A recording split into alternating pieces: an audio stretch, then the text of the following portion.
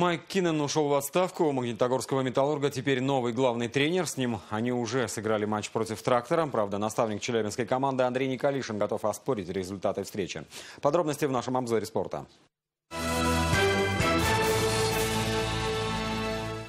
Майк Киннон покинул пост главного тренера «Металлурга» после проигрыша Салавату Юлаеву. Место наставника теперь занял Илья Воробьев, работавший до этого помощником Киннона. Однако состав руководства клуба «Канадец» не покинул. Теперь он будет советником президента «Металлурга». После этих перестановок Магнитогорский клуб уже одержал первую победу, обыграв «Трактор». Челябинские хоккеисты за пять минут до окончания третьего периода вели в счете 3-1, но удержать лидерство не смогли, пропустив быстрые голы и закончив основное время со счетом 3-3. А в овертайме победную шайбу забросили игроки «Металлурга». Впрочем, судейство на этом матче уже раскритиковал главный тренер «Трактора» Андрей Николишин.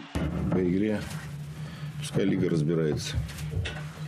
По игре с судейством, с удалением, с, с голом последним. У меня больше нечего говорить.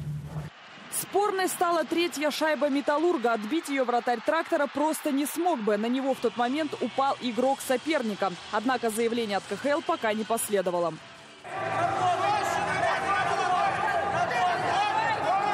14 медалей завоевали южноуральские гиревики на домашней спартакиаде по гиревому спорту. Всероссийские соревнования проводились для спортсменов до 18 лет. И у Челябинской области второе место в общекомандном зачете. Три из 14 медалей золотые. Одна из них на счету Николая Гарифьянова. Он поднимал сразу две гири весом в 24 килограмма и сумел сделать это 74 раза.